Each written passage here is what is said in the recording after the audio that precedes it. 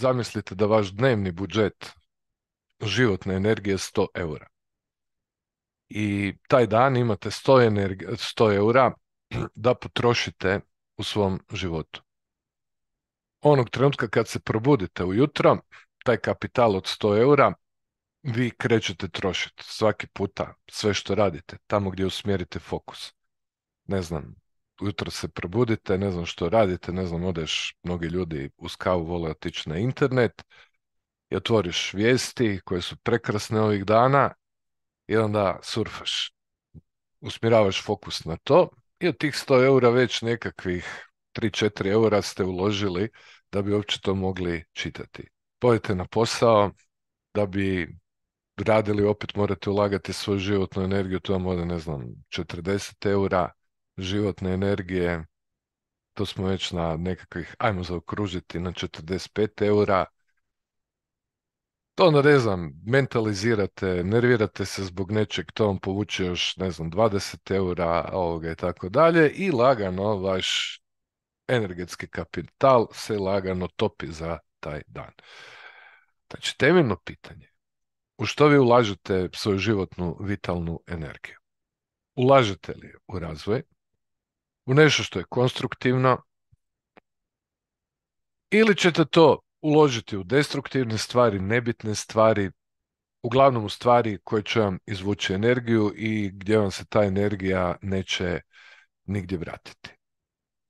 Znači jedna i druga investicija, ova dobra i loša, će vam se vratiti. Ali zapamtite jednu stvar, te investicije uvijek vam se vraćaju sa kamatama.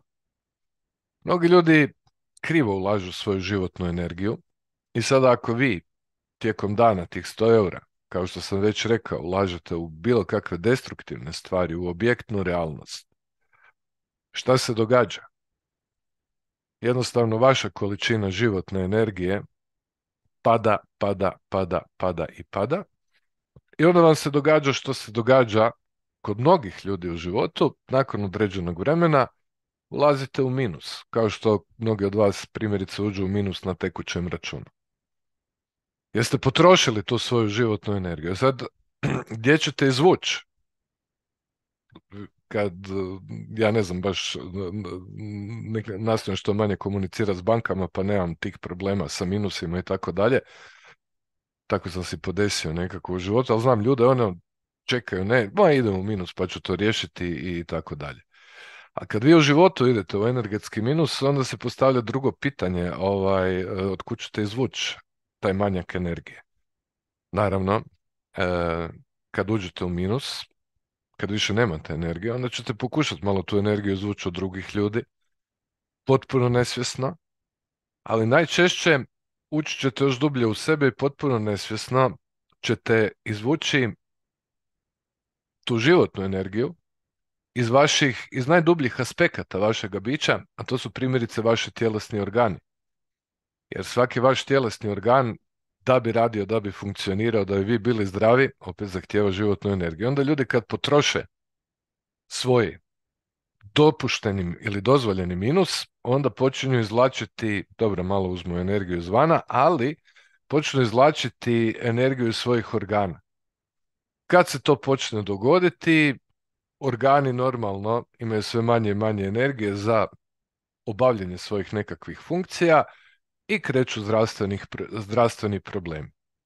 Većina ljudi to uopće ne registrira i nastavlja dalje taj obrazac i onda sve više i više jednostavno crpi energiju koja je potrebna za rad organa, za rad tijela i tako dalje. I onda, nažalost, kad se sve to zbroji, ljudi uđu u debeli minus, ali kao posljedica toga ne samo da život počne trokirati, da nemate dovoljno energije za bilo što promijeniti, za napraviti bilo kakve transformacije, nekakve nove stvari, već i vaše tijelo lagano počinje trokirati zato jer ste izvukli tu energiju, jeste loš investitor.